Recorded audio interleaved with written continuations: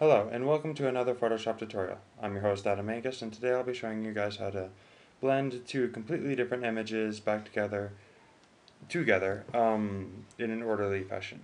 So first thing we're going to do is grab one of our two layers, of our two images, and we're going to add the first one, we're going to uh, set its blend mode, which can also be done by double clicking and setting the blend mode to overlay and then going to our other image setting the blend mode to overlay.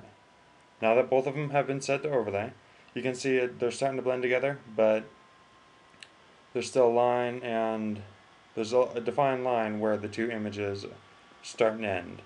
So what we're going to do is we're going to go to layer 1 add a layer mask down here at the bottom right here add a layer mask. And we're also going to go to this layer and add a layer mask. And with one or, one or the other layer mask selected, we can go to our gradient tool. Make sure we have black then transparent as the gradient preset. Black then transparent.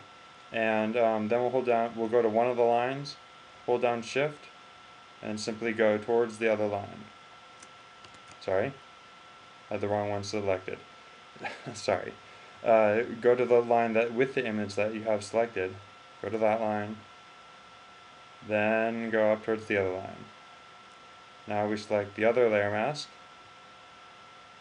And go from that line down to the, where the other line was. Now we can now you can see we have two completely different images blending together in a definitely a more orderly fashion than some people have done before. So anyway, thank you guys for watching this quick tip video kind of thing. And um, I'm your host Adam Angus and I'll be making another Photoshop tutorial uh, later this week. Thank you for watching.